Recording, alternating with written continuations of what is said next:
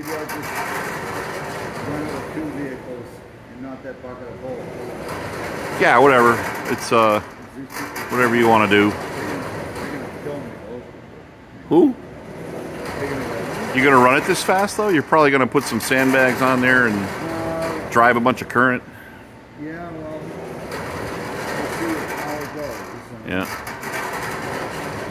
That third vehicle is a bucket of bolts, ain't it? yeah. So I think I'll It's almost like the bad wheel bearing on my truck.